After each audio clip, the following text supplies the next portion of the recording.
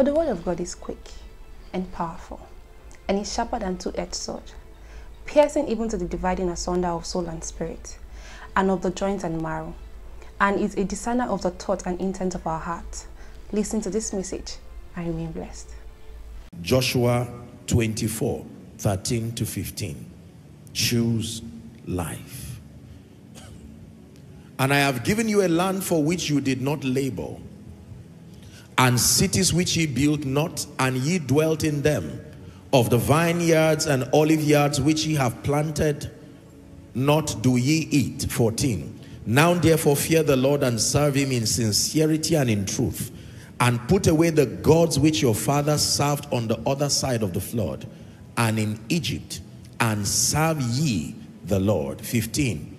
And if it seem evil unto you to serve the Lord, he said, choose you this day whom ye will serve, whether the gods which your fathers served that were on the other side of the flood, or the gods of the Amorites, in whose land ye dwell. He says, but as for me and my house, we will serve the Lord. Someone make that statement. We will serve the Lord. One more time.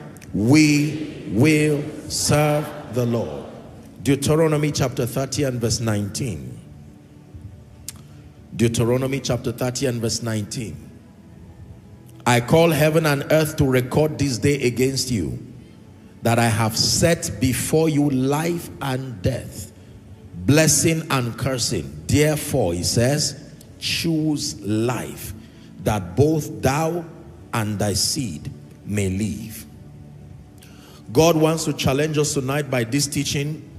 It's a call to put our lives in order. It is a call, I think it's Psalm 119 verse 133 or thereabout. Please find it for us. It says, order my steps. Yeah, beautiful. It says, order my steps in thy word and let not any iniquity have dominion over me. Order my steps. That means I'm tired of living a foolish life. I'm tired of rigmaroling around destiny. I want my life to have order, meaning, and precision. Hallelujah. One of the great blessings that I received from two very profound men, Dr. Mike Murdock, still alive, and Dr. Miles Munroe of blessed memory, among the many things that they did to me as a contribution to my growth was the awareness of the power of choices and decisions. It is one thing that I learned about them, that decisions truly decide destiny. And I'm going to say a few things that I want you to please pay rapt attention to. Number one is that decisions decide destiny. Time does not decide destiny. Location does not necessarily decide destiny. Age does not necessarily decide destiny. Gender does not necessarily decide destiny. Ultimately, decisions decide an individual's destiny. It's important that you know this. I've said it here in this house that your decisions, more than your conditions, will decide the quality of your life or otherwise. Your decisions, more than your conditions, will decide the quality of your life. That means it doesn't matter what is currently happening in your life right now. Your decisions, more than your conditions, is what will determine the quality of your life eventually. The Bible and history is full of people who had beautiful conditions, but poor decisions turned those conditions to reflect the consequences of their decisions. An example is the prodigal son. The prodigal son had plenty. He had a responsible father. He had loving brothers and a family. But his singular decision to part ways with his family landed him in a destiny that we use today to warn people. Are we together? Lot was one who connected to Abraham, had the opportunity to live a life of meaning and purpose and he decided to separate from Abraham and he found himself in Sodom. Decisions, more than your conditions, decide the quality of your life. Is someone learning? I have also taught you here that every decision is connected to consequences. A consequence is a corresponding outcome. A consequence, again I repeat, is a corresponding outcome. It's a resultant effect of a cause. So every time we make choices and decisions, please listen carefully. We do not choose consequences. There are consequences already connected by default to every decision. Poverty is a consequence. Failure is a consequence. Even death in many regards can be a consequence. There are certain sicknesses that are consequences beyond just medical conditions. A life of pain and depression and defeat is a consequence. Our world is full of people angry at consequences, not knowing that we are not given the power to choose consequences. Please listen. We are not given the power to choose consequences. Consequences are already connected by default to decisions. We make choices and decisions and the decisions automatically gravitate us to the corresponding consequences. So you can find two people, one living an excellent life in the spirit, an excellent life as a man of God, an excellent life in destiny, and then on the other hand, you will find an individual living a defeated life. What's the difference? It is not the will of God. What is the difference? It's not the presence of Satan. What is the difference? It's not even the territory where they are domiciled in.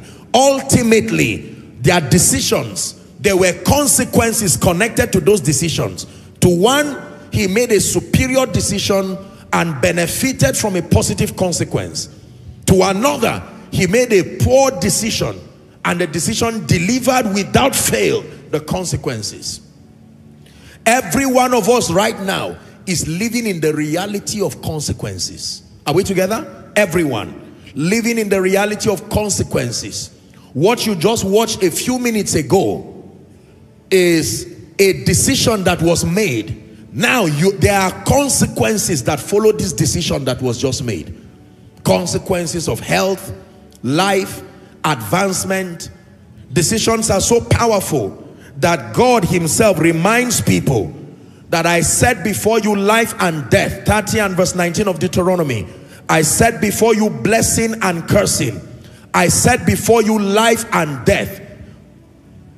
Something so powerful that it can choose life or it can choose death for you. Something so powerful that it can bring you to a realm of blessing or a realm of cursing. He says, therefore, this is my counsel. Choose life. Hallelujah. Now write the following please. To choose means that you have to be aware of all the other options available. To choose, this is the implication of making choices. That to choose means that you have to be aware of other options. Maybe not all other options, but other options that are available alongside the outcomes they create. Please listen. You are not able to choose until you understand. If I have just one option or just one outcome, I cannot say choose. The very idea of choosing means that there are many paths to life and destiny. Are we together? The very idea of choosing means that you are at liberty. There are many, many possibilities. You can sample different paths that you want to take in your life and destiny. To choose means you have to be aware. Most believers cannot make quality choices because they are not even aware of what the other options are. They gravitated by default into failure. They gravitated by default either from ancestry, are we together? Or through environmental conditioning the average individual has not been given an opportunity to see life from the lens of wisdom to be able to see the options and the variables to destiny actualization are we together so like people say like father like son like mother like daughter I saw my father doing this, I am also doing it. I saw my mother doing this, I am also doing it. I saw people bribing and cheating, I'm also doing it. So the average believer is not aware that you truly cannot choose until the first miracle to be able to make quality choices and decisions is that you must be aware of the various options available. If you bring a buffet before me, now I can choose because there might be swallow, maybe rice in their various forms, maybe vegetables, maybe drinks and all of that. Then you can now tell me choose. But if you bring a plate of rice, what you should say is eat, not choose. Because that's the only thing that is there. Are we together? Most people are not aware, and I want you to listen carefully. The devil has blinded the mind of even believers. Most believers do not know that there is another way of living beyond the way they have known. Most believers do not know that your life can be lived in such a way and manner that is different from what you have known. The general psychology is that whatever you find, you follow suit. But I am announcing to you by the authority of scripture that the path you saw may not be the path needed for your destiny. The path you saw may not be the only path. The path of witchcraft, the path of failure, the path of irresponsibility. Are we together? The path of laziness and carelessness and idolatry. It may be the path you saw, but it's not the only path available. It's not my fault, apostle. This is how life is. No, it is what you know. That may not be the only thing there. Imagine that you want to use a restroom and there are times that in a house or in a building, a structure such like this, there might be multiple restrooms, but they may direct you to one. And if that one is filled or in use, you just stand there stranded, not knowing that there can be other restrooms. It's just that you don't know how to get there. This is how it is with life. Do you know there are many people who do not know that there is a way out of a life of poverty? There are those who do not know that there is a way out of spiritual laxity and laziness. There is a way out of curses and yokes and spells. There is a way out of a life of defeat and mediocrity. Ladies and gentlemen, hear me. If God says choose life, then it means the spirit of wisdom has an assignment to open you up to the various options that are there leaving you with the decision to choose. There were two trees in the Garden of Eden. That is the first representation of God's determination to make man choose. I set before you the tree of life. Then I set before you the tree of the knowledge of good and evil. I can't force you, God for you. I can't force you. I leave you to these options, but I can only advise you, choose life. Hallelujah. With all due respect, the prisons today are full of many people, not all people, but many people who made choices and the corresponding consequences is what they are experiencing today. There are graves today that are testaments of negative consequences as a result of poor choices that people made with their lives. To choose me, you have to be aware of all the options that are available. Please look up. Let me list for you at least four options that are available. Number one, a life of grace and glory, a life of dignity and honor is an option that is available on this table. Grace and glory, dignity and honor is an option you can choose from. Number two, a life of mediocrity, barely surviving, getting by. This is a second option. You are not exactly a failure, but you are not exactly a success too. Mediocrity, average. Number three, a life of total confusion with no sense of direction. That is a third option that can be there grace and glory, dignity and honor, mediocrity and an average life, barely getting by. Third option is a life of total confusion, living from pillar to post, hoping you are right. and finally a life of total defeat. Total defeat. Failure by every definition.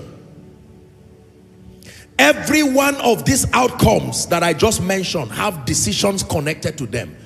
There is something you need to do that makes you have a life of dignity and honor a life of grace and glory. There is something you need to do that makes you a mediocre you don't just become a mediocre you don't just become an average. No, there is something you need to do.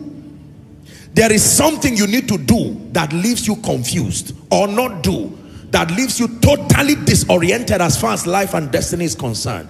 As a preacher, as a parent, as a leader, and there is something you need to do or not do that leaves you a total failure and one who is an epitome of defeat.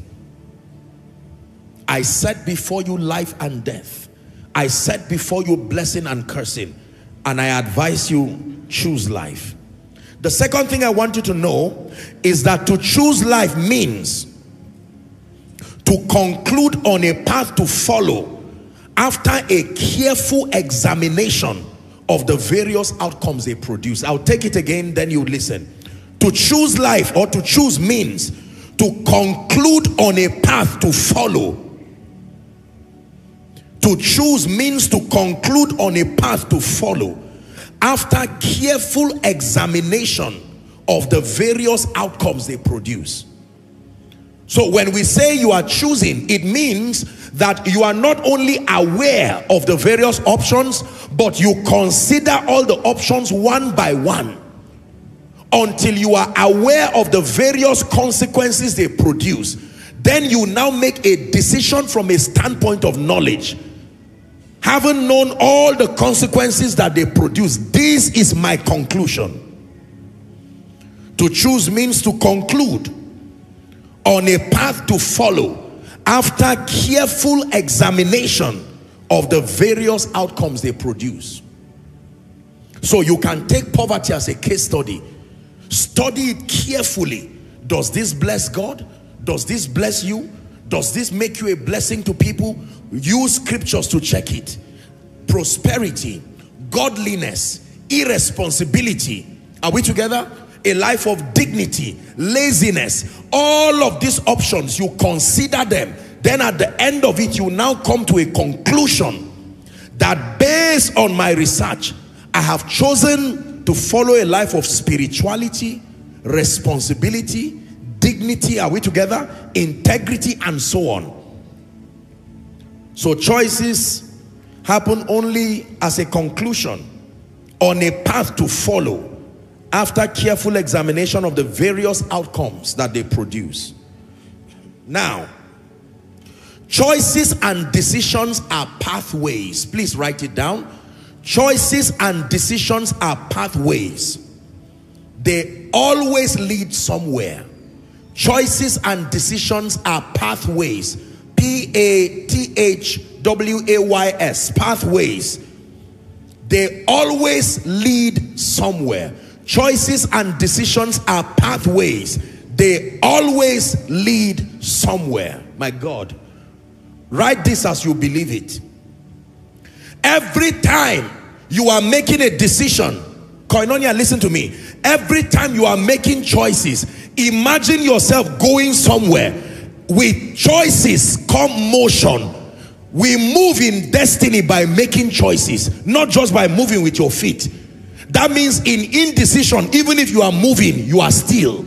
It is the path the path that you follow is from the choices that you make choices are pathways. They always lead somewhere. That means the moment you start making choices you must live where you are. Either to become better or to become worse. Choices are pathways. They always lead somewhere. Are we together?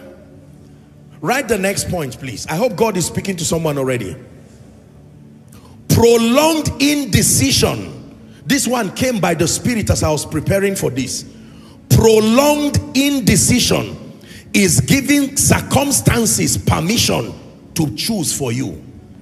Prolonged indecision is giving circumstances permission to choose for you. That means when you stay in a state of indecision for a long time, what you only succeeded in doing was giving circumstances permission to choose anything for you. A farmer does not need to tell weeds to grow. All he needs to do is to refuse to farm and something will grow. What is the name? Agriculture, we are taught in agriculture that weeds are unwanted plants. They are plants, but they are just not wanted. Prolonged indecision is giving circumstances permission to choose for you. Wow. That means if you refuse to make choices and to decide, you will still find yourself going somewhere.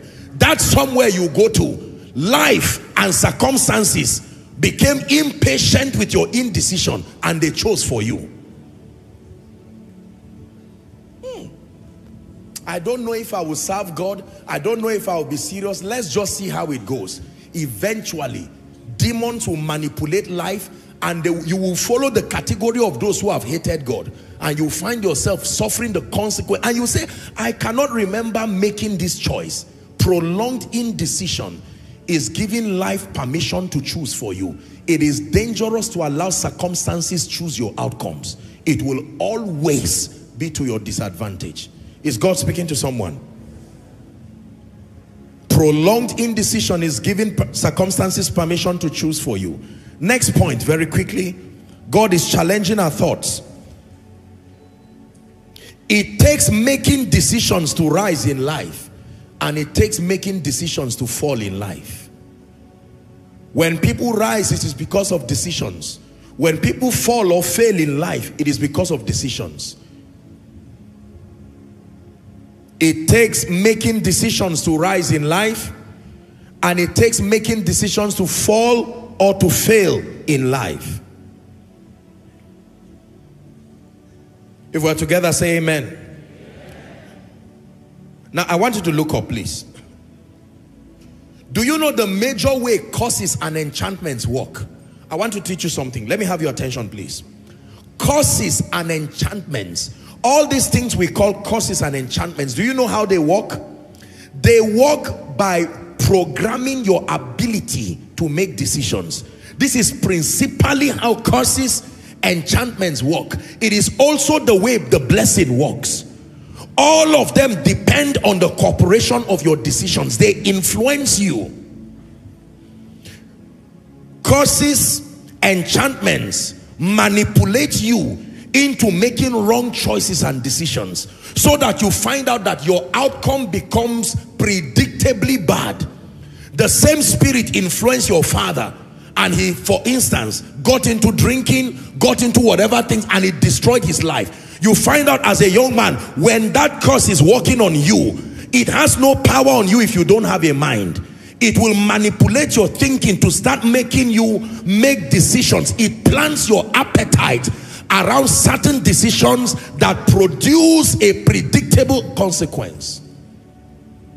So it's not just that curses and enchantments work arbitrarily. No, they depend on the cooperation of your will.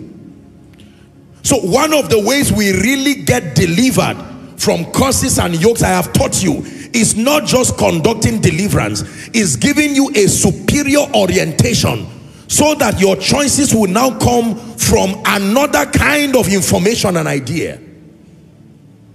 Is someone listening now? Enchantments. I have seen people who will tell you from today I will behave well. From today I'll be a nice person. And this spirit, they manipulate the person. Now I hope you know it's not the spirits that carried your two legs to the place of trouble. You went there by yourself. They influenced you. The same way when the blessing is on you, it will make you to have an appetite to come to church. And the day you come to church, that is the day your word will come. The day you come to church like the dear lady who gave the testimony, that is the day that you will meet your employee. And one thing will lead to the other. That is how the blessing works. So when I speak over you and say be blessed, among the many things the Holy Spirit is doing, it's not just a force that rests on you and vetoes your will. It begins to guide. I don't want to use the word manipulate. You don't use that for the Spirit of God. But it begins to culture and influence your thinking. Are we together? And you will start making pro-life decisions, pro-prosperity decisions, pro-responsibility decisions, pro-development decisions. You can always know what spirit is influencing you by the kind of decisions you are making and the outcomes that follow. Are we together?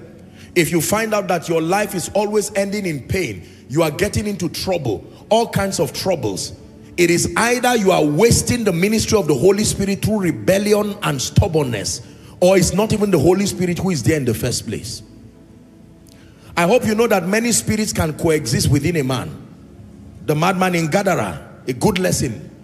Peter, even though he was with Jesus, Jesus rebuked Satan from him and says, Peter, Satan has desired to sift you like wheat, but I have prayed for you. And Peter did not even know when Satan entered him. The Bible says Satan entered Judas. So Judas's desire to use Jesus to make money was not ordinary. His will was there, but the assignment of Satan was to manipulate him. How many of you have seen a puppet? This thing they do for children. You put your hands inside and then you are making the thing sing. Now it can be so real you forget that it's actually a human being's hand. Are we together? But if you drop that thing without the hand, it has no power. The singing and the dancing happens because someone's hand is controlling it. I'm praying for somebody in the name of Jesus Christ every decision that has landed you in trouble landed your family in pain poverty a life of mediocrity a life that is far from God I'm praying for you by the spirit of the living God. Let a miracle of deliverance happen for you tonight. Hallelujah. It takes making decisions to rise in life and it takes making decisions to fall or to fail in life. Failure has a formula. Are we together? Unfortunately for failure, you don't have to learn it to experience it. The formula was designed to find you and act upon you in the presence of ignorance.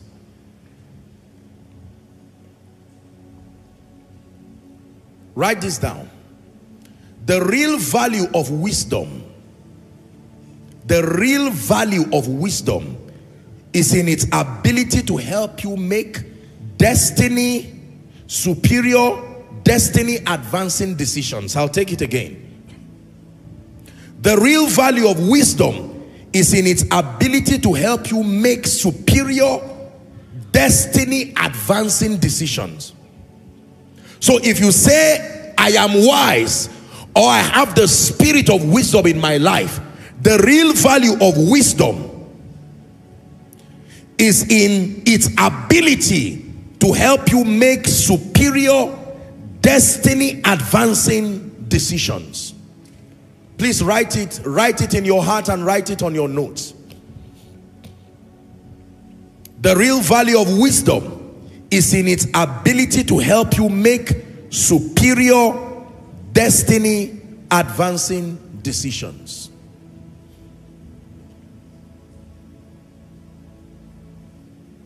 There are many people claiming to be wise.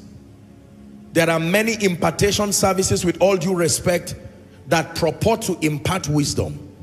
But we do not see the excellency of wisdom in the life of believers because believers are still surrounded by very foolish decisions that they keep making again and again and again. And the moment you see that the effects of the decisions that you make is not leading you towards a desired heaven, it then means you are bankrupt of wisdom. The Bible says, does any man lack wisdom? My question is, how do you know you do not have wisdom? By the outcomes of your life. You can know that I'm bankrupt of the wisdom of God by the outcomes. Listen, the real value of wisdom it's in its ability to influence the quality of decisions that you make. When a man carries the spirit of wisdom, most if not all your decisions will be superior destiny advancing decisions you can always know whether it is wisdom speaking or another spirit speaking by the quality of decisions Are we together now? Yes. Listen, this issue of decisions, I remember many years ago, I would hear Dr. Murdock would say, decisions decide destiny. I, I got what he was saying, but perhaps I did not understand the gravity of what he was saying. I've had the honor of meeting people I used to know many, many years ago. And for some of them, their lives have not changed. Or some of them have become very worst versions of themselves. I remember not too long ago, I met someone I used to know years ago. My goodness, his life was not something to write home about. I had to honestly ask him what happened. But then I was asking something that whose answer I already knew. Decisions. Decisions. Your conditions can be great, but your decisions will superimpose your conditions and bring you into a negative consequence if they are poor decisions. Whereas for another, you can come, you can have negative conditions surrounding you and make quality choices and decisions that end up bringing you to your desired heavens. I respected the power of choices and decisions when I came into a position of leadership and I understood how serious choices and decisions were. Do you know that one decision can make you a bad father forever? One decision can make you a bad mother forever. This is how powerful it is. One decision or indecision can send you to hell. Not two, not three. One decision. This is how powerful decisions are. There are people who have been sick in the hospital and yet they were able to survive. There are people who had accidents, hit by metals and all of that and were able to endure. But one decision you can make, it will not injure you physically, but it can literally define your eternal destiny. Whoever told you that choices and decisions are a cheap matter to play with, I can tell you sincerely, you are where you are right now, looking at me, especially if you hate where you are. It is an uncomfortable truth, but I want you to admit it right now in Koinonia, that you are where you are as a reflection of the decisions and the choices that you have made. Apostle, everybody hates me. It has to be demonic. I agree. But those demons require something to work on. And you donated your will through ignorance or your passion to not get knowledge and cooperated with them in bringing yourself to this current state. Can I tell you, your real deliverance begins the day you admit that I am where I am, comfortable or not, because of the decisions I have made with my life. Hallelujah. There are many people who have made foolish decisions in the name of smartness. Now, when the devil wants to deceive you, he changes the name of the consequences to attract you. Are we together now? Yes. Satan will call poison sweet or whatever it is and then because the name changed does not mean the outcome will change. Are we together now? Yes. If you carry rotten food and you package it and put it in a beautiful cooler, does it change the state of the rotten food? It is still rotten. It's only the container. The only thing is that it will deceive more in that state, but it is still rotten food. This is the game Satan has been playing with many people. Repackaging destruction in many packages that seem pleasant and someone will come to the shop of life and destiny and your eyes will go straight to something that has the power to tear you into pieces. But because it is packaged so beautifully you will say this is what I want. God will respect you. Satan will rejoice with you. You make the choices. And then when you now buy it you are forced to eat of it because this is what happens. Choose life that you and your children may live. I had the option of being a serious man of God or otherwise. I have the option of leading God's people with integrity and truth or otherwise. Are we together now?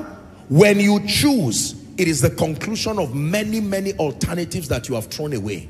But the excellency of the decisions and the choices that you make, it is demonstrated in, you see, let me tell you this you cannot fake choices forever. No. it will catch up with you. The consequences know your address more than DHL. They will find you. You make choices and travel anywhere, they will fish you out. It's not like this one that they'll say, where's your house? And be going around, you know, the delivery man will be tired because he cannot find where your house is.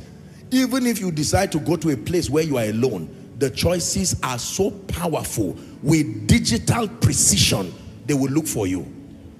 For instance, there are people rejecting God now because they want money. Hello? Let me have your attention.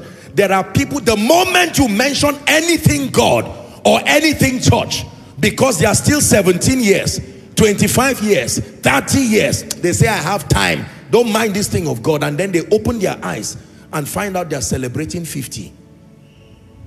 And all the children they gave birth to, not one of them is serving God because like father, like son. Are we together now? And then they begin to get angry. What is this?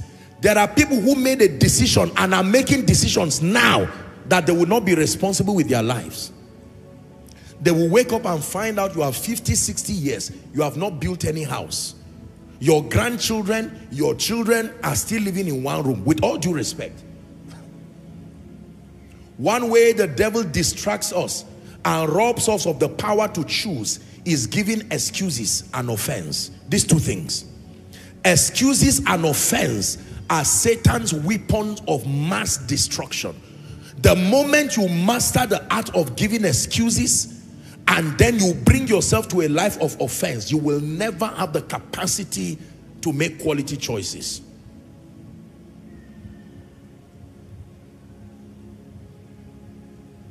Why is your prayer life still down? Well, you see, there's no light in my compound.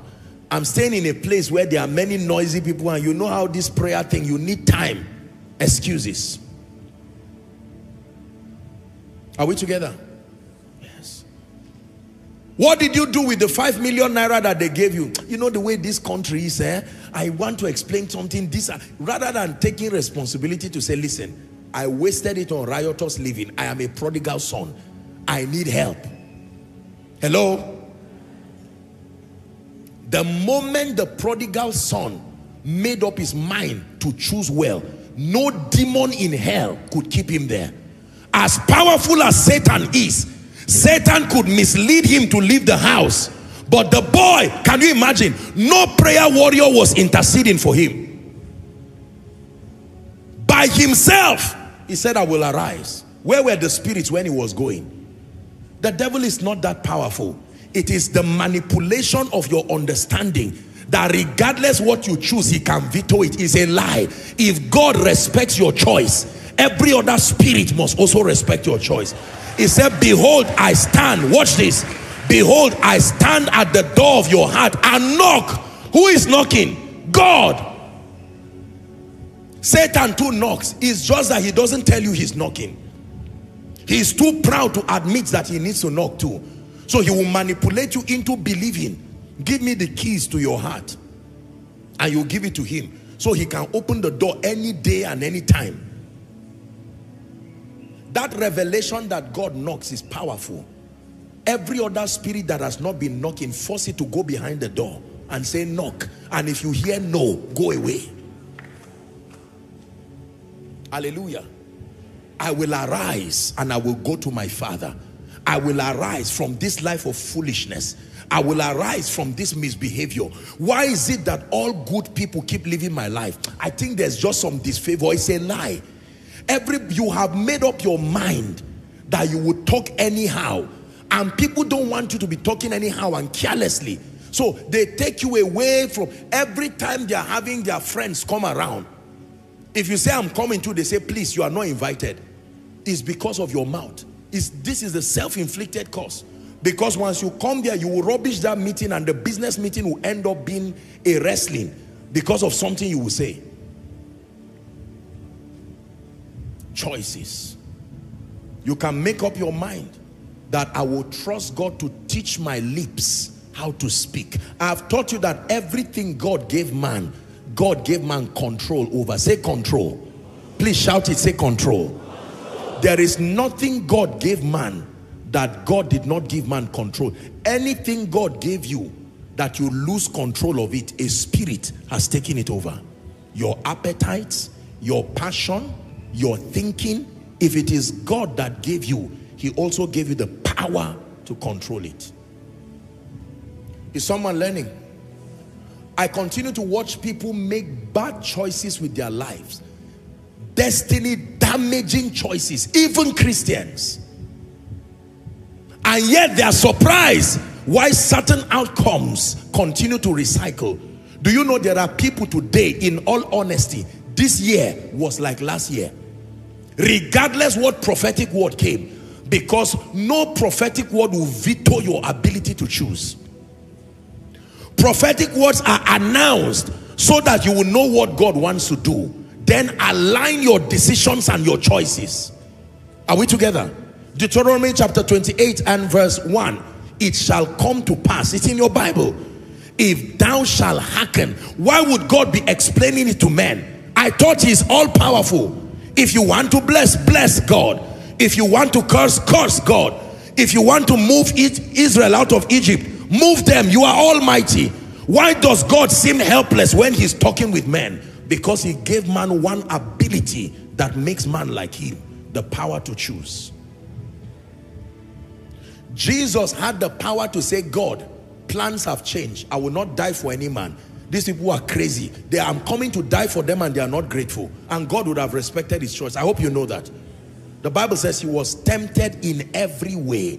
Father, if it be thy will, take this cup off me. He said, I have the power to call a legion of angels. Many of us right now, the Lord gave me this message to the body of Christ. The decisions that you are making, you can pray and make wrong choices. Your wrong choices will veto your prayer. If God wants to help you, he will send you mercy. Another person will come and influence your mind. Can I tell you, your choices will influence you more than your prayer life. Hear what I'm teaching you. Your choices will influence the outcome of your life and destiny more than your prayer life. It is the reason why there is a lot of prayer with all due respect that happens in the body of Christ and yet you do not see people making constructive destiny advancement because many believers just pray as a ritual but they do not purify their decisions to make word compliant pro-destiny decisions there are people till the next 10 years they will still be poor because of their decisions there are people till the next 10 years they will never build a house with all due respect, there are pastors and leaders for the next 10 years, they will never rise. And don't say it does not matter. There are individuals whose lives will never make any notable kingdom impact because of decisions. Decisions. For the way of the Lord is the way of wisdom I choose the way of the Lord. For the way of the Lord is the way of wisdom. I choose the way. You've heard me say it here in Koinonia. If you come from a poor family, don't let a poor family come out of you. If you come from a family of witchcraft, don't let witchcraft come out of you. If you were raised with all due respect by irresponsible parents, don't waste the time arguing and hating them. And then you wake up and see children all around you and they call you daddy. You are almost tempted to say you are not my children. But time has gone. Many of you right now, you are wasting time in anger. You are wasting time in bitterness. Anger and bitterness does not lead you to your desired heaven. The day you settle down and choose, Apostle, I was raped when I was small. I sympathize with you. I don't downplay your pain. But if you stay there complaining, you will get to 40 years, 50 years and not make any quality decision.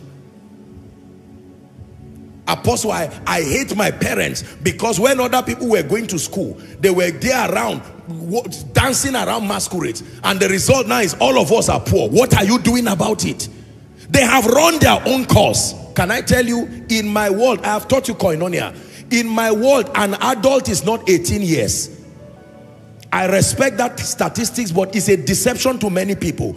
There are many, many adults calling themselves children. In my world, the moment you can decide and you have an awareness of the consequences, you become an adult immediately. How soon? Immediately. Let's stop pampering people to produce destructive destinies. You see someone 35 years, 40 years, and he says, I'm a last one. What does that mean? Of course, I'm not being sarcastic. Yes, thank God that you're so. Destiny does not care, ladies and gentlemen. The one who decides, if it be thou, bid me come. He said, Come. The one who chose to walk out on water was the one who experienced that miracle. Hallelujah. Our world is full of commentators who never make choices and decide. They comment about those making strategic impact and they cannot jump out of that water. Our business people, I'm ashamed of them. Something as easy as this and they will never do it. Preachers who are talking like ah, that scripture is not really correct and yet they will never do anything impactful. The world does not reward commentators. It is those who get up and, and do something with their lives. Are we together? There are many people who insulted fathers, insulted mothers, parents now. Now is their turn. Their children are suffering worse conditions now. If your father and your mother, with all due respect, lived a mediocre life, the first way out is to find another father and mother who reflects what you want to become. I told you that the principles of followership is twofold. Number one, follow them. Number two, looking on to Jesus. This is how we become in the kingdom. Follow them is the first principle of followership.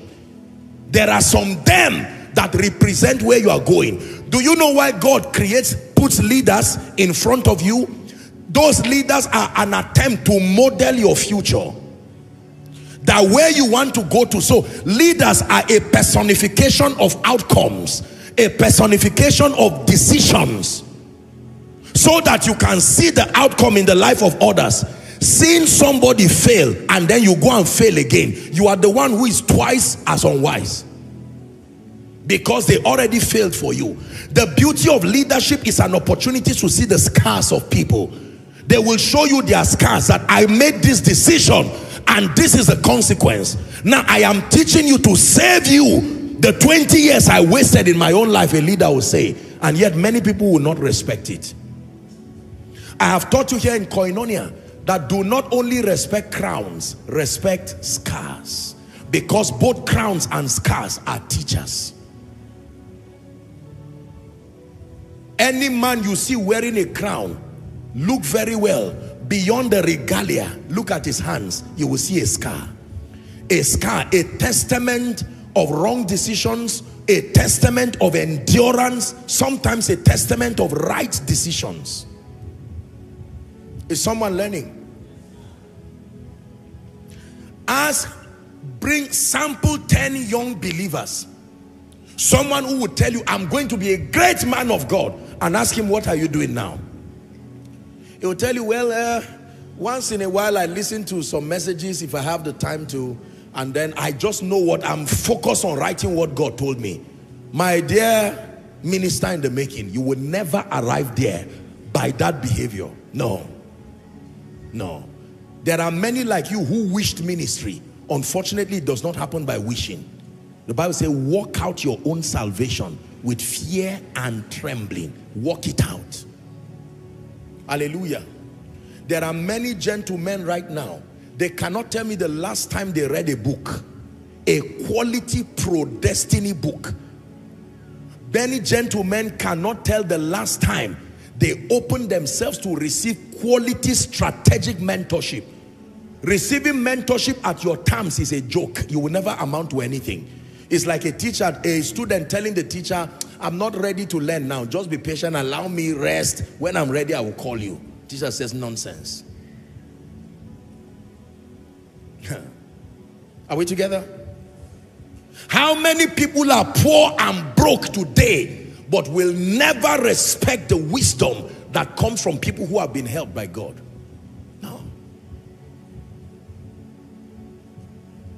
Hallelujah. You want to become a great mother and you see a woman who is exceptional with her home and her children and you disrespect them. Do you know every time I see great people, I look past their results I want to buy into their mindset because their results are consequences. Did you hear that? Their results are consequences. There are decisions that led there. And I want to hear it. What is your understanding like? What are your decision-making processes like? Man of God, what decisions have you made that brought such power, such grace, such influence to your life? Let me sing that song again. For the way of the Lord is the way of wisdom. I choose the way of the Lord. Now, let me tell you this. I came from an evangelical background and being that my whole training and my exposure in ministry was from the northern middle belt and context you know we got that foundation of character moral excellence but there were certain things about administrative excellence that I did not have the opportunity to see because of the background. As God began to expose me to a global audience, I knew that there were some things I did not get by the advantage of my background. And I, I will have to reinvent myself. And so back to the formula of followership, follow them, looking unto Jesus. There are things that them cannot teach you because the them too are students it's just that they have gone ahead are we together and I began to learn administrative principles these are things that you do not get just by impartation. No you get by knowledge. Serious constructive definite knowledge. And I started getting the materials opening up myself to the various trainings in addition to being a man of God to become an effective leader. Leader of resources, leader of people. You see that now? You want God to trust you to manage his resources and all you have is a sincere heart. That is good, but that is not enough. No. The dynamics of managing resources, resources there being both human and material resources. This one is a learned skill. It comes by training. It's not just a gift. Hallelujah. There are many believers who are trusting God for increase and promotion. You want to pastor 100 members? There is a skill to pastor 100 members. You want to pastor a thousand members with the mentality of the one who pastors a hundred members? No. God loves his sheep too much. He will not trust you with that kind of thing. There is something you need to know. The dynamics of conflict resolution. The dynamics of people management. There are several things you need to learn at an elevated state in addition to prayer, fasting, and the ministry of the word. Decisions. What is the difference between someone who is running a big shopping mall and another person who is struggling with a small shop? It's not just exposure, it's their decisions. The person small there is either starting small or he has refused to grow. Refusal to grow is a decision and God and life can respect it. But the consequences that come with stuntedness will also meet you there. Without growth, there is no fruitfulness. Fruitfulness is a direct product of growth. If you see a baby that is pregnant, would you run away? Is that normal? Come on, talk to me adults. Is that normal? No. No matter what genetic explanation they give, in Africa, we'll call that person a witch. Wherever you came from, you are older than this body you are entering and you will talk to the spirit and say you can't be that young and maybe in some places they may even completely throw away that that because fruitfulness is a product of growth if you go and plant mango seed and by the next day you see a tiny branch and you see mangoes bigger than it you will not eat that mango because we were trained to respect fruitfulness when we find growth are we together now so most people brag about being fruitful but they do not want to grow. If you do not grow, you cannot be fruitful. Be fruitful in ministry, be fruitful in business, be fruitful in destiny. It is a product of growth. Please say growth. And I have taught you that success is not what you seek. Success is what you attract by who you are becoming. Your growth is how success is attracted to you. Are we together? The moment you transit into superior versions of you, you begin to attract a certain kind of people, a certain kind of resources, a certain kind of influence. These are irrefutable spiritual laws. Luke chapter 2 and verse 52. And Jesus increased. I like that scripture.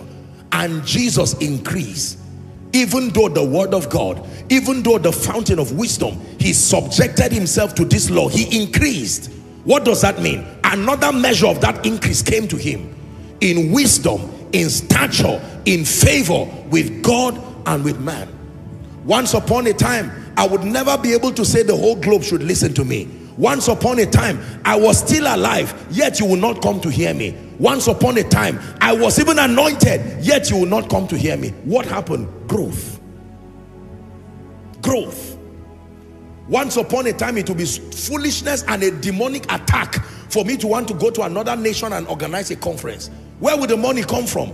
And if the money comes, where will the people come from? And if the people come, the level of grace to defend that call, say growth. This is very powerful. There are many people praying for realms that they are not willing to grow into and it will never come. Pastors are praying sincerely, Lord give me a global vision and they think all there is is anointing and one sermon. Ministry preaching only accounts for about 30% of ministry. There are many other unseen aspects of ministry. You can preach well and fail as if God did not call you. Breathe, Lord, breathe, breathe, Lord, breathe, breathe upon my life. Breathe, Lord, breathe, breathe, Lord,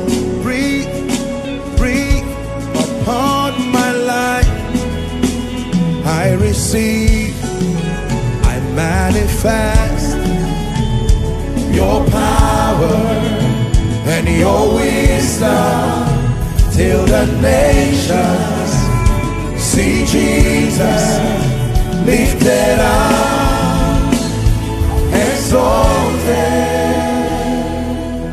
That is why even in the spirit there is something called spiritual growth. Are we together now?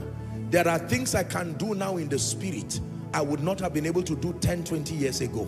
Not because it's not the same life I have, but exploring the riches of that life and walking in dexterity, the power, the grace, the wisdom. Are we together? And there are many young people because of this arrogance of our generation believing I can do all things in Christ. They have dared certain things that are beyond the scope of their growth and beyond the level of the spiritual power that they carry and they have casualties to tell for it. You see, with all due respect, you see this simple thing here? Coming to have all the fathers in a land and then you are making declarations and speaking over spirits. Let me tell you, you better know where you stand before you take a risk like this. There are people, you do this kind of thing, before the service is your dead body they will carry out. As simple as it sounds. Because in making declarations, you are talking to spirits who are hearing you. it sounds very easy, but there are idols in your own village. You go and try it. Just go and gather the people and say, I come. I've read in my Bible, shall take up serpents. Where is the, the those in charge of the shrine? I'm not scaring you. Forget it. If you don't grow, there are things you will see in the Bible, but on trying it, you've watched wrestling. That's what we call wrestling.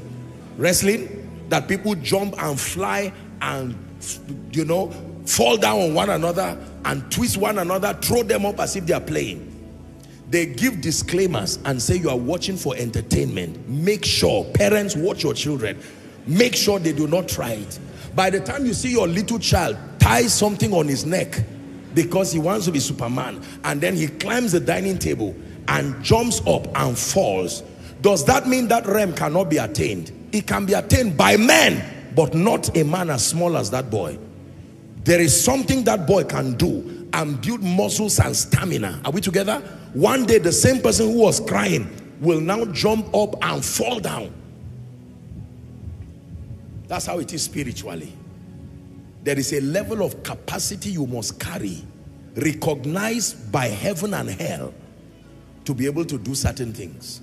There are people today who have spoken over people. I rebuke that 125 year course upon your life.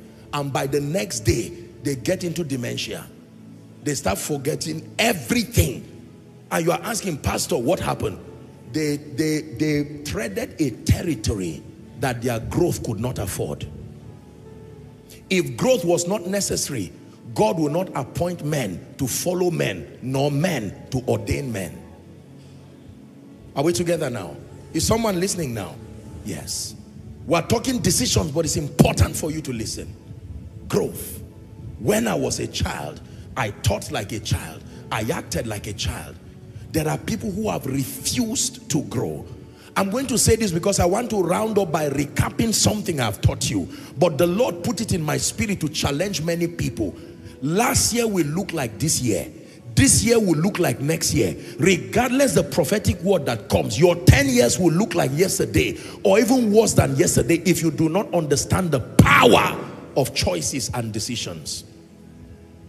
There are nations that when I travel to, you will see something you once saw, but when you get there, you almost cannot know the place again because they have decided to improve and develop the place. There are places you were as a child, even with your eyes closed, you can locate it. As a child, you were the one who hits the wall, and that part in the wall you hit is still like that today, now that you are an adult, because nobody could fix whatever happened there. It's not good. Nations can decide to remain stagnated Individuals can decide to remain stagnated. Families can decide to be a center of reproach and shame. Men can decide that I will not rise, I will remain small. I pray for you. Whatever has kept you down, my dear people, in the name of Jesus, who is the Son of the living God, I'm praying that in this service, you will begin to make constructive choices. Prostitution is a choice. Armed robbery is a choice. Laziness is a choice. Prayerlessness is a choice. Wordlessness is a choice. Refusing to come to church is a choice. Having bad friends is a choice. Having good friends is a choice. Being a failure is a choice. It's just a choice whose dynamics you did not understand, but it's a choice. Being poor is a choice. Being a mediocre is a choice. Living without help is a choice. Not enjoying the ministry of men is a choice. Failing in whatever you do is a choice. Becoming a child of God is a choice. As powerful as the Holy Spirit is, there are people here now who are not born again. In all the overflows who are not born again. The thousands following across the globe who are not born again. He will be around you, but he will respect you. Waiting for the moment you declare the Lordship of Jesus by yourself.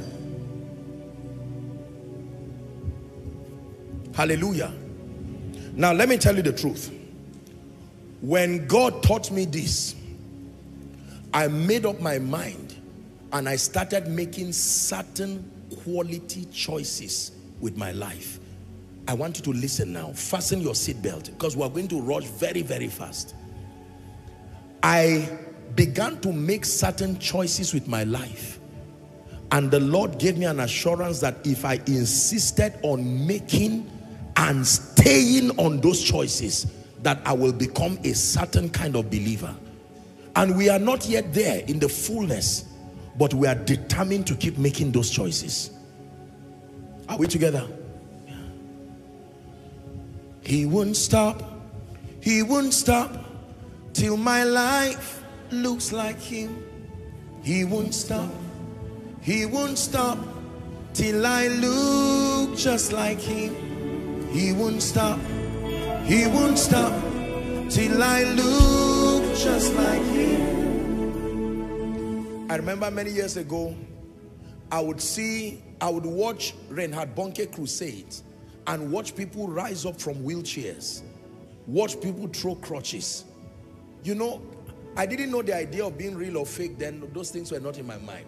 But I was watching, my God, how can a man have this kind of power? He was not, with all due respect to him, he's joined the cloud of witnesses. He was not such an orator. No. He would not share some deep revelation from Greek and Hebrew. No. He would just stand and speak and fire that you can feel in your physical body. I said, what did this man touch? What kind of grace is this? How about um, T.L. Osborn? He was a sound teacher of the word. So he will teach and then you will see mighty miracles. How about Billy Graham? Billy Graham would teach like he's doing a discussion, like a lecture. You will almost feel sorry for him and think nobody will be convicted until he makes the altar call. You see people coming as if they are dragging a chain. Someone coming, you know that this is the Holy Ghost pushing this man. Because the way the man's face is, you know that that man should not be in front. And yet he's coming out.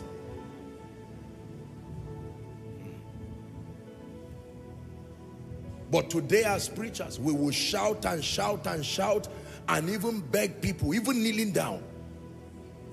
Okay, can you come to Jesus? Then we stand up, we raise a song again. We say, I know there's one more person. Come on, don't be ashamed. And, and there are many sinners watching.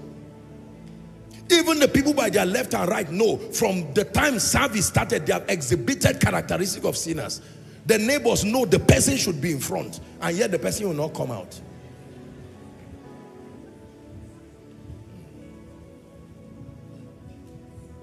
Hallelujah.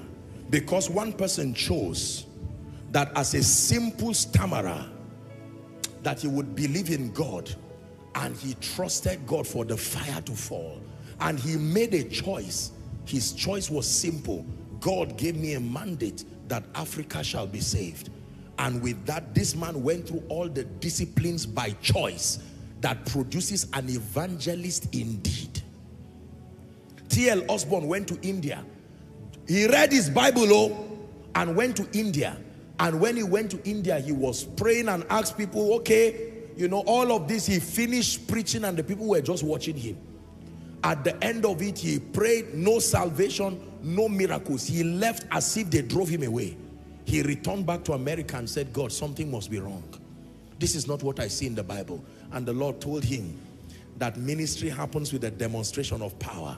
You do not call a people from one side of a belief system to another without a demonstration of power. He said, oh, that's it.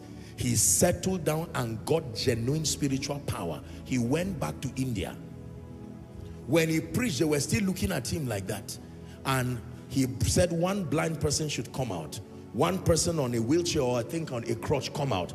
Another person and in their presence, those people got healed. The place erupted erupted and without wasting energy he called people to Jesus. That's how it works. Maybe God is talking to someone. If you go and do a crusade like that they will beat you on that ground. Don't embarrass the name of the Lord. Stay! Tarry until ye be endued with power. Say power. If this thing has not landed on your head tarry oh. Tarry. Is it's not every region that will just report you to. Go and read the Bible. Even those that had power, they flogged them. Talk more of those that do not have it. I mean, you have your Bible to read. Say power. Many of us downplay the power to choose. I know I'm digressing, but I am telling you, there are certain equippings if you do not carry, don't move to certain terrains. Don't go and call the nation. In Nigeria, nobody will sue you to court if they are not healed. There are regions you gather people, say the sick, the lame, the blind, you have all kinds of problems come. The people are coming, their lawyers are there coming too. And by the time you are done playing games, just when you think you are preparing to return back, you'll find out that you are in the prison.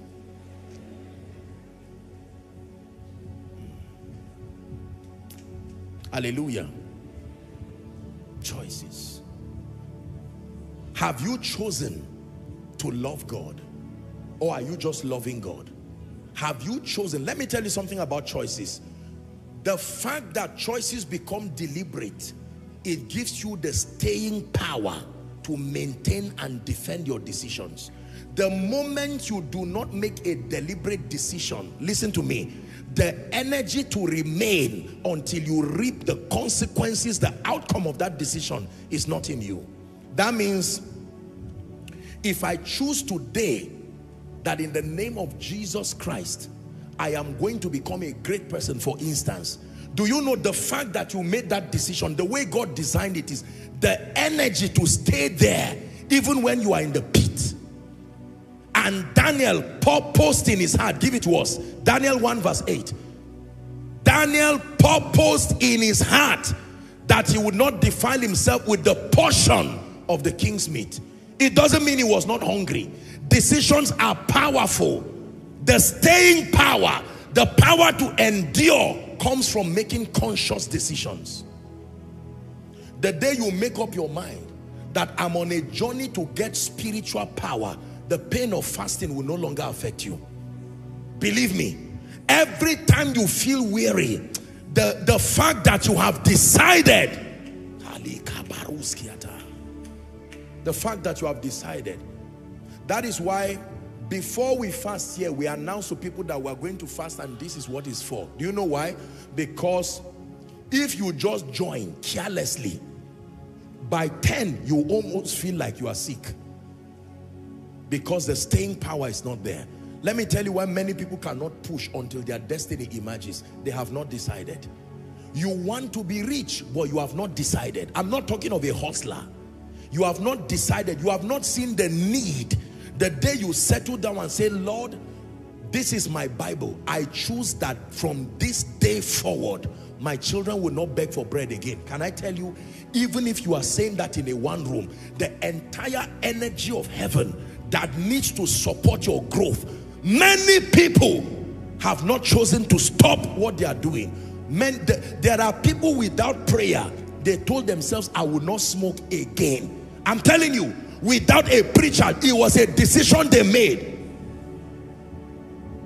And the day they made that decision, either because they told them you have, um, what's this thing that you get when you smoke? Liver, huh? lung cancer. They tell them, Mr. Man, the day you touch one uh, this thing again, that day you are going to die. Out of that fear will come a decision. No prayer, no fasting. They just decided from today, that's the end of it. Can I tell you the truth? By the privilege of God's grace and without any sense of, of pride, there are things in my life today. It's not just a free gift. It's a product of a choice. The moment you choose, the power to take your eyes away from many other variables leaves immediately. Are we together? Apostle, I want to pray, but do you know, I pray, there is a grace that comes, so, but that grace respects your choice. You don't have the power to change yourself, but you can choose and agree with God that I want to be changed. Hallelujah.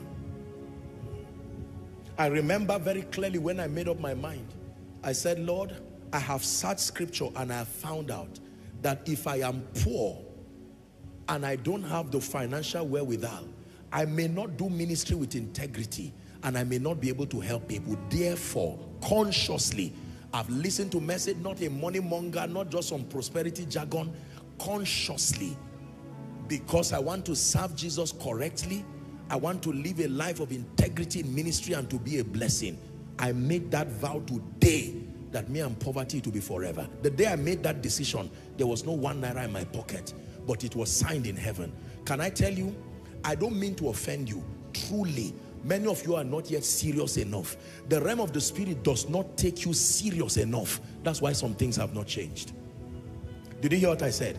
Pastor, you are not ready to grow. That's why. You are still giving flimsy excuses. It's because another church is near me. It's because this one is happening. It's because I'm not an indigene in Abuja. It's a lie. The day you make up your mind and say there is a way out. Father, the same Lord is rich unto all. There are fathers today, with all due respect, they are still giving flimsy excuses. They've not paid us our arrears for five years. That's why I've not risen. It is a lie. The day you get angry and say, Lord, you are the one who made me a father over four children. You cannot give me four children to turn my daughters and my sons into armed robbers and prostitutes. From this day, I made up my mind that my child will never lack school fees again. You will see that the resources of heaven will rush towards you to support it. It is a principle that both spirituality and psychology agree on that the moment you make a decision, how to make that decision come to pass is released to you immediately. The most important thing is to make the decision. Can I tell you, there are many things I've decided in my life and in ministry. At the point that decision was made, the strategy was not even there, but make the decision first. For instance, I will serve the Lord all the days of my life. What will I do now with the covenants of witchcraft? Don't worry, you decide first in the name of Jesus, I will not take last in class again. Eh, but I'm like that. I'm not really very sharp in my mind. You are not serious. You are not serious. No, you are not serious. I'm not very bright. No, you are not serious. I know that I'm, I'm a barrister, but I'm not practicing. You know, nobody wants to even, you are not serious. I'm sorry. Don't feel bad, but just believe me. You are not serious. Apostle, people come, they come and receive miracles and they leave me. You are both lying and you are not serious. Nobody leaves what works. Something about what you are saying is not true. You think you are blessing them. They are not getting blessed. Is someone getting angry? Let me speak to the gentleman for one minute. I want you to vow a vow. Uh, you know, I, when I talk to you like this, I talk to you in love. There are some things you must choose to never let happen in your life. One, that I will love the Lord with all my heart. I'm, I'm going to run through those things for you. Number two, I will be a responsible person as a leader and as a father. No gentleman in Koinonia should raise irresponsible children. You cannot pay their school fees, transferring the responsibility to your wife and saying, after all, the Bible says two have become one it means you have been wasting my energy here with all the preaching that I've been preaching. Honestly. Apostle, you are only saying this because somebody will give you a seed after koinonia. Where were they when we started? Decisions. You can make up your mind from today and say in the name of Jesus, by the next two years, there are certain things that should happen in my life. Do you believe that? You can make up your mind and say, every day from today, I will not sleep if I've not prayed for at least one hour. Decisions. Every day, I must read this one or two chapters. You will default some days, but let the decision be there to guide you. I make up my mind from today, this and that and that friends. You see, the power to choose is an ability that God himself respects. As for me, I've chosen. I used to tell them those days in Zaria that the future of this ministry is in that word, I. Across the nations of the earth. And today, by his grace, he has brought great glory to himself. And he's still bringing glory to himself. It is not a mistake. I am only grateful to see that some of the choices we made today are now being manifest in our lives. I made up my mind that I will never be a man of God who will go and preach somewhere and waste the time of God's people. And as soon as they share the grace, I'll just say, this man, no, no, no. So that the church, whatever needs to be done as a sacrifice to prepare you. Is it praying? Is it fasting? Is it building your capacity? Choices is not just a mere wish. It's a decision backed up by the willingness to pay the price. That price factor if you throw it away, you are not choosing. Hallelujah. I remember when I saw a few ministers of the gospel, especially watching their videos, I saw the kind of power that flowed through their life. I made a vow that I will never be a powerless man of God. I researched the subject of power with my passion and with my spirit. Let me tell you with every sense of humility, there are few books about power written by serious people that I've not read. This ministry of power, I followed the thing with grace. And every devil in hell, there are things that when it rests upon you, every devil in hell will know that there are things you have found. Are we together? I made up my mind that nobody will sit under an atmosphere like this that you are listening to me and all I will give you is just a lecture except your faith is not willing to receive. No. When you sit down, it's like you are connecting electricity from front to the back and something from the words your spirit you know you are receiving that impact is beyond an information this is why you you will think you are not understanding but it's entering your spirit. I will ask you this question one year later. You will still quote it because it entered your spirit. It's beyond the lecture. This one comes with power. Hallelujah. Is someone hearing what i'm saying now? Yes. I found out that the secret to effective ministry, in addition to godliness, in addition to integrity, is to truly carry genuine power that solves the problems of people. It doesn't matter how sincere you are. If that power, you can do acted power, stage managed power, or assume power. You can assume you are powerful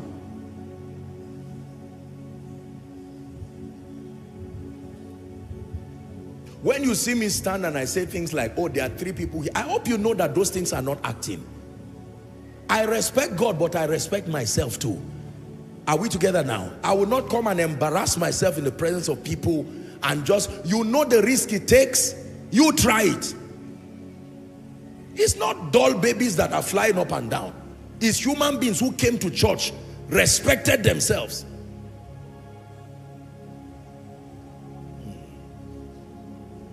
My own is to train my discernment that as it's coming from heaven, once it lands, it's like it's like it's like a receptor that is so sharp. As soon as it arrives, I'm ready to declare it. That's why you see what you see. It's not like God just isolated somebody and decided, no, no. Discernment is a quality that can be trained. You can train your spirit to pick signals with such precision that what God is saying in a moment, that's why it looks like as you are saying it is just happening, is the level of the development of discernment. Hallelujah. Are we together now?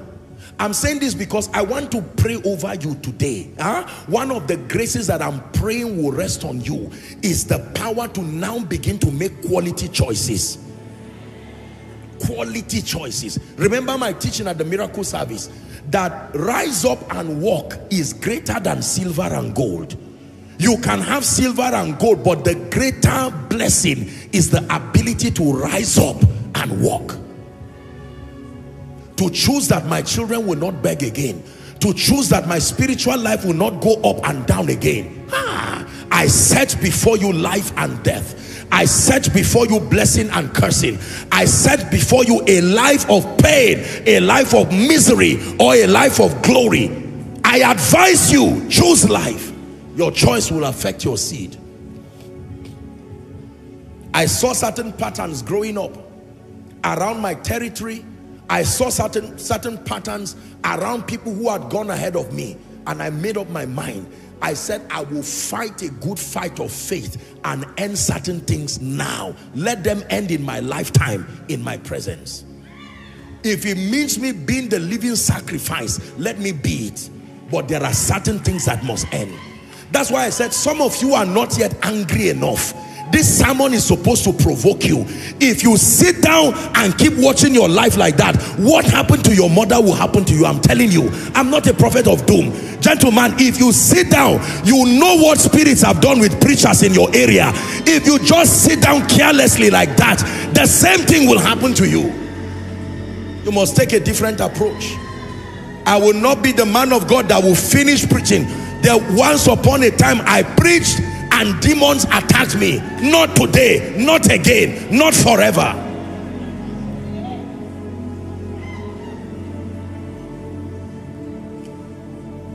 Let me speak to preachers for a moment. Gentlemen ladies let me tell you the end time army must be an army of power. Choose to invest in carrying genuine anointing. Hear me. Choose to invest in carrying genuine power talking grammar and stories the world is tired of it. I assure you. Mm, power to heal. Power to raise men. Raise them from a dunghill. Power to declare over nations and shift the spiritual climate of nations.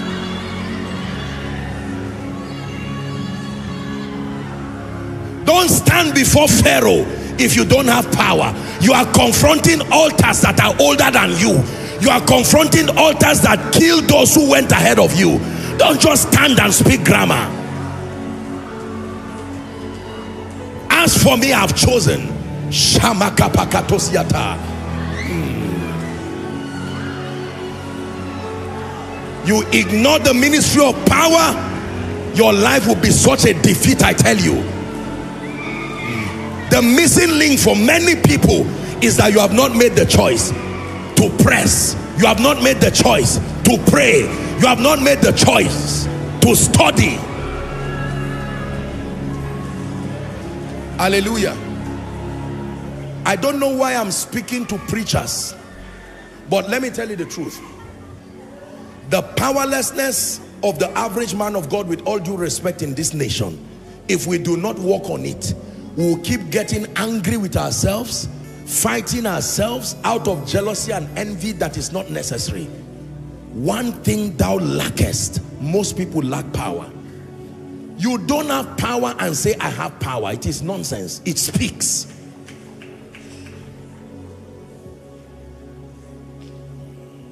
Hallelujah. Speaks. The power that is greater than the cause holding your family you have not chosen to come out of it that's why. Oh apostle i've been suffering from bedwetting who will help me now? I can tell you my dear brother my dear sister you are not ready to come out of it that is why. There is something about a human spirit when it gets angry. There is something about men when they are tired of their current situation. Yes sir. The prodigal son got angry and said hey how many hired servant has my father? And i am here feeding with the swine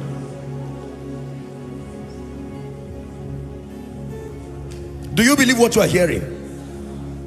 Choose life. I have chosen by myself that nothing is going to cut short my life before it's time. It's a choice. It's a choice. It's a choice. It's only when we get to heaven you will know how many shrines and how many herbalists call my name day and night. Let this man die. You are joking. We are here for a very long time I said before you life and death. You believe what I'm saying? Don't keep quiet. Keeping quiet is a choice to remain a failure.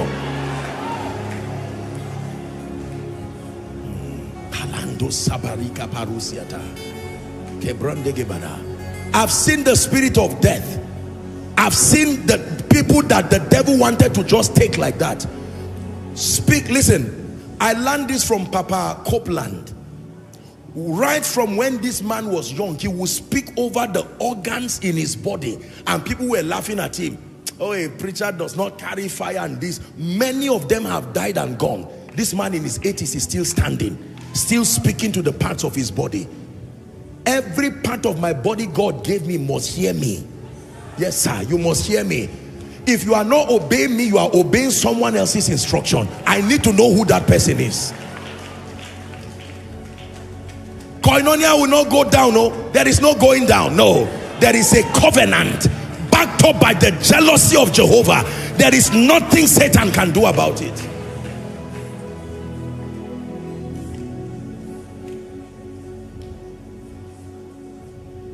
I want you to get angry tonight because I want you to see the areas of darkness in your life. You are allowing the devil destroy people in your life there are people every year somebody must die. Every year. Can I tell you? You are you are just mechanically aware you are a priest. It has not entered you by revelation. The day the, re the revelation of your priesthood enters you ladies and gentlemen you will stand up with power and shake that altar and said the last person that died in this family will be the last person and end comes to it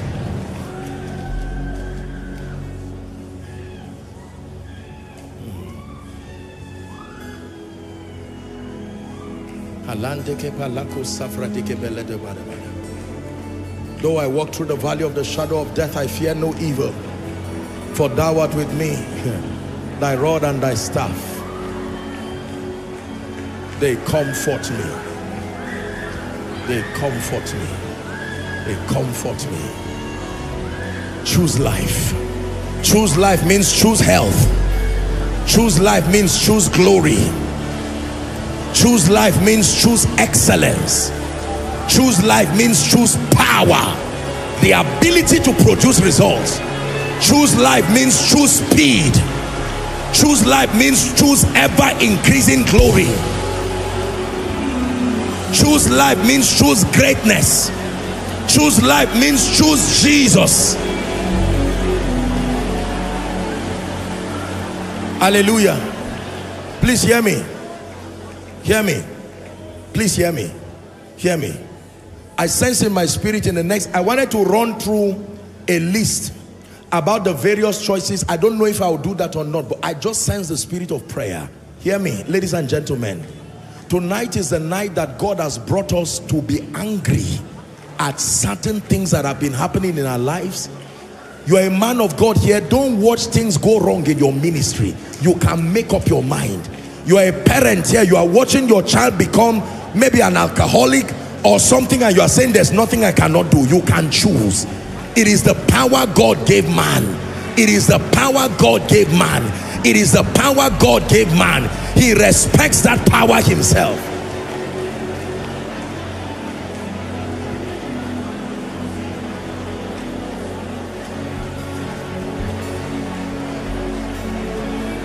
It is the power God gave man. Hallelujah. Listen, let me tell you this. Please listen to me. Just listen. Listen.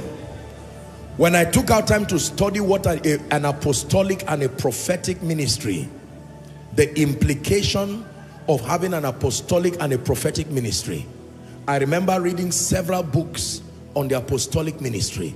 When I saw the spiritual demands, the kind of weight and energy you must carry in the spirit to run a genuine apostolic and prophetic ministry, I knew that I was playing games. I was joking at that level of spirituality. Now, then the relational demands, the kind of influence you must command to be able to do ministry at that level effectively. Then the financial demand is the one that will even scare you. Hallelujah. Because the pioneering anointing is part of the equipping of the apostolic ministry. You will do things that have never been done before, not in the way they have been done before. And doing new things carry a cost because you are setting the pace. Other people will model it and it will reduce the cost when others follow. But pioneering is expensive. Hmm. Hallelujah. I went to God in prayer. I said, Lord, I want to do ministry with integrity. This finance thing has tied people down. I don't want this thing to be, I don't want to lose sleep because of money issues. And that's when I took out time. God showed me the power of decisions that you can change your life if you are serious. And I said, Lord, I'm serious. So, oh. and I went to search from scripture. What is the secret of this thing? When I found it, I knew. And today, by the grace of God, we're able to do things for this ministry and across nations by the grace of God and by the help of God. It has helped to protect integrity while we serve.